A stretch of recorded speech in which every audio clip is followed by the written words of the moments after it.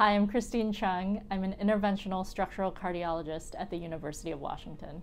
Uh, so, my specific interests are in the structural space. So, I have a particular interest in left atrial appendage closure, as well as in all things related to valvular heart disease. So, transcatheter aortic valve replacement, mitral valve therapies, tricuspid therapies, PFO and ASD closure. All of those things are conditions that I really enjoy uh, treating. So, one of the most rewarding aspects of treating patients with left atrial appendage closure is when they come in for that subsequent post procedure echocardiogram.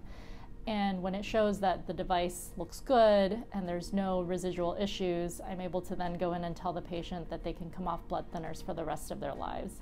And often that's a really exciting moment for patients, and it feels really gratifying to be able to deliver the result that they were looking for.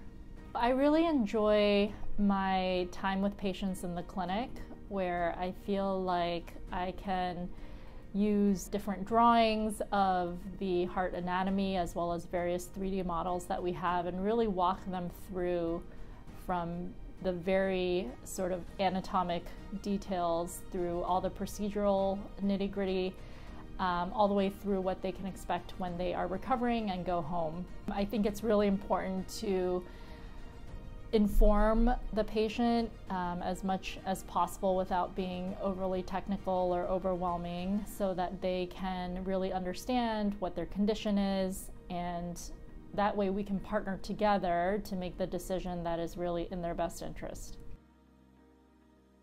We are UW Heart Institute.